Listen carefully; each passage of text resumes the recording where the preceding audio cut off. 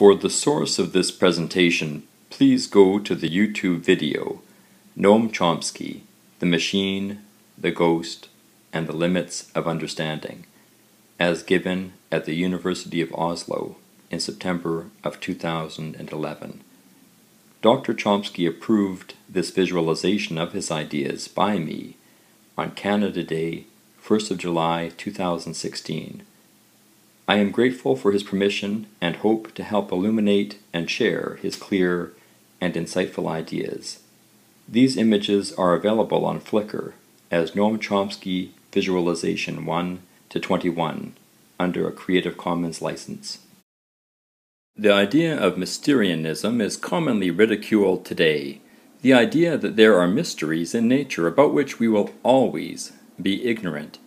The key figures of the scientific revolution did not ridicule Mysterianism. They accepted it. The mechanistic view of the world that Newton exploded saw the universe as a big clock like object that we could fully explore and understand.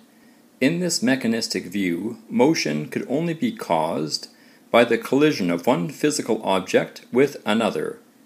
This is also our common sense notion. Modern research in cognitive science supports Locke by indicating that this common sense idea is in large part genetically determined. Young infants recognize causality as being due to contact. These are the limits of our common sense. Newtonian gravitational attraction goes beyond our common sense. Rene Descartes stated that we may not have intelligence enough to understand the workings of the mind as in the case of language, a main concept for him he came to realize that language has what has come to be known as a creative aspect. Every human being, but no beast or machine, has this capacity to use language in ways that are appropriate to situations, but not caused by them, a crucial difference, and to formulate and express thoughts that maybe are entirely new, and to do so without bound may be incited or inclined to speak in certain ways by internal and external circumstances, but not compelled to do so. This was a mystery for Descartes, and remains a mystery for us. It quite clearly is a fact. Descartes continued that even if the explanation of our creative use of language and other examples of free and coherent forms of action lay beyond our cognitive grasp, as it apparently does, that is no reason to question the authenticity of our experience. Quite generally, he said, that free will, which is at the core of this creative capacity, is the noblest thing we have, and there is nothing we comprehend more evidently or perfectly. So it would therefore be absurd to doubt something we comprehend and experience so intimately within ourselves, namely, that the free actions of human beings are undetermined. Action at a distance, or gravity, could not be understood in mechanical terms. Newton could not find a physical cause for gravity. He famously said, I frame no hypotheses. Newton's laws describing the workings of gravity were not occult, but only their principles were occult, unknown or possibly unknowable. Newton commented that an understandable account of gravity had not yet been discovered. With the word yet, he may have indicated a hope or expectation that it would become understandable in time, but 20th century science dashed the hope of us ever knowing nature in a true or accurate form. The best we can do is to develop intelligible theories of the world. Intelligibility is today dismissed as absurd, as Newton knew. A purely mechanical material description by science of nature was proven to be fruitless by Newton.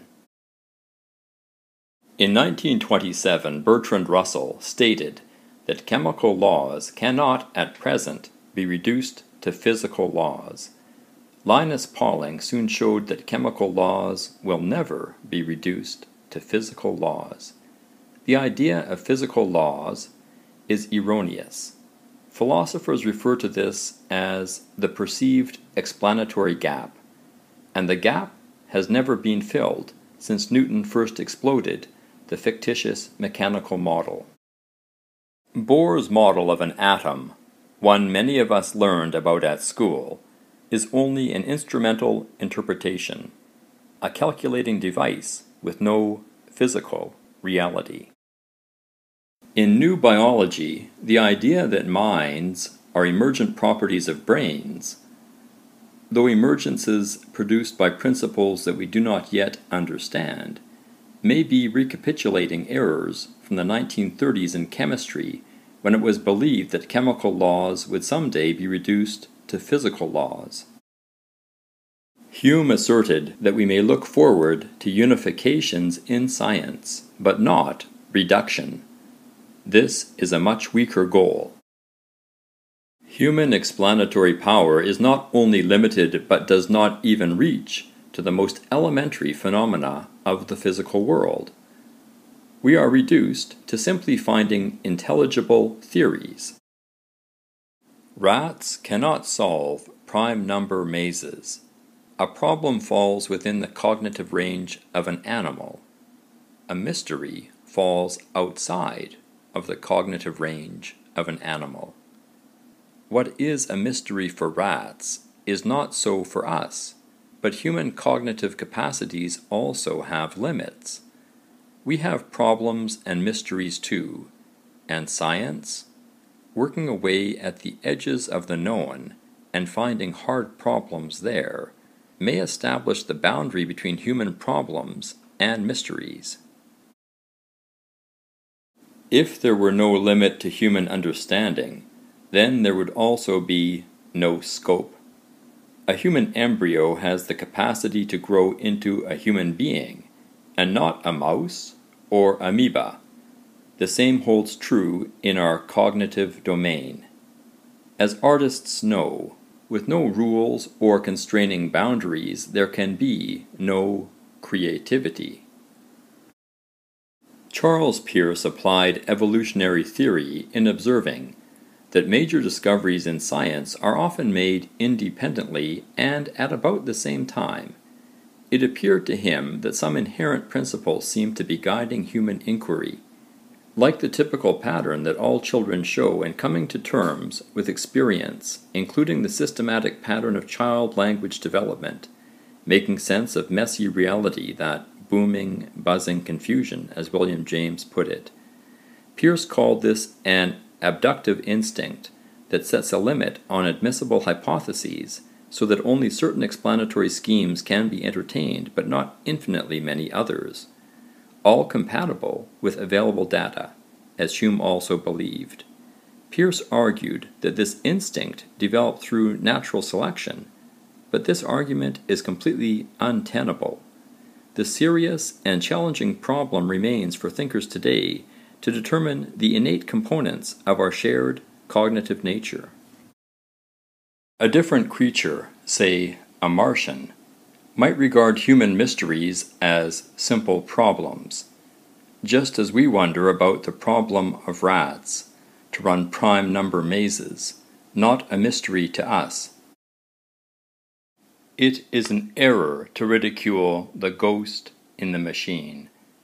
Newton did not exorcise the ghost, rather, he exorcised the machine, and left the ghost intact, and so, incidentally, Newton set the study of mind on a new course, making it possible to integrate the study of mind within science. Newton may very well have realized this. What Newton called spirit which is something he could not identify, might be the cause of all movement, including the power of moving bodies by thoughts, both human and animal. Is all matter alive? Locke stated that we cannot say that matter does not think. We cannot reject this possibility because of the limitations of our thinking. We still have no concept for what the physical is. The brain is a special organ designed to create thought, just as the digestive system is designed to digest food. The brain makes coherent the booming, buzzing confusion, as William James put it. The brain takes sense data and experience and creates from it an idea. The mind secretes thought. We cannot understand it but simply accept it as true, in the same way as we must accept gravity without understanding the how of it, as Newton had illuminated. The mind body idea is unformulated because we still do not have a coherent theory of body, the physical and material. It is fair to conclude that the hopes and expectations of the early scientific revolution were dashed by Newton's discoveries. One conclusion, reinforced by Darwin, is that while our cognitive capacities may be vast in scope, they are, nevertheless, intrinsically limited.